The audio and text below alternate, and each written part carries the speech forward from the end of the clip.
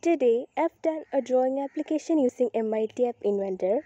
Here you can see the drawing application. This is how the app looks like. You can draw anything you want using any color and if you want you can add more colors.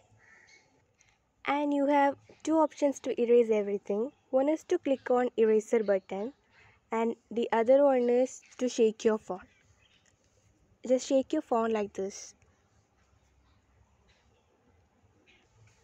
You can draw anything like this and shake, it's gone.